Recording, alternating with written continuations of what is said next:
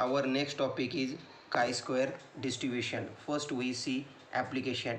It is used to test if the hypothetical value of the population variance to test the goodness of fit to test the independence of attribute.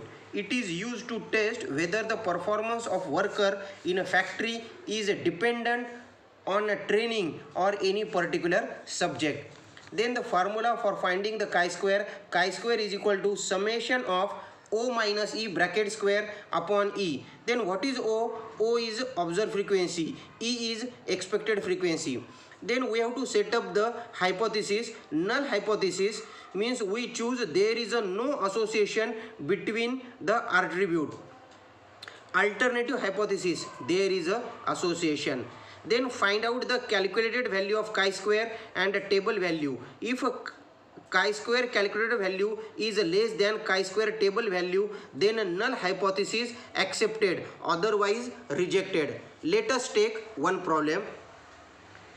Out of 8000 graduates in a town 800 are female. Out of 1600 graduate employ 120 are female. Use chi-square distribution to determine if any distinction is made in appointment on the basis of male or female. Use 5% level of significance. Uh, sometimes in exam the chi-square from the table value is given. Chi-square 5% level of significance. The answer is 3.84 then we have to set up the hypothesis null hypothesis there is a no distinction is made in appointment on the basis of male or female. Then alternative hypothesis means there is a association or there is a distinction is made in a appointment.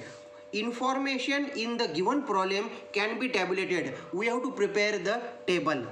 Then the means in problem problem contain male and female and male are the employed male and female are the employed and not employed. Here there are 1600 graduate employee.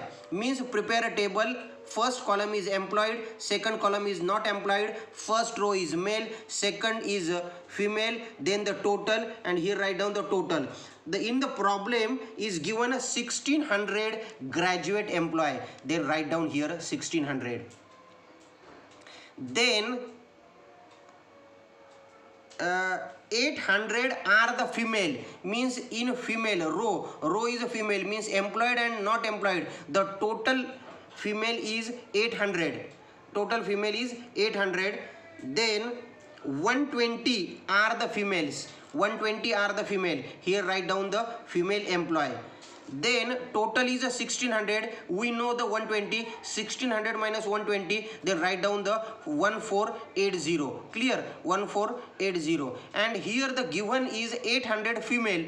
And we know the 120 are the employed. Then 800 minus 120 is a 680 then the total is given 8000 8000 minus 1600 then you get 6400 then 6400 minus 680 you get 5720 then add 5720 plus 1480 you get 7200 means we have to prepare the table from the information from the given information.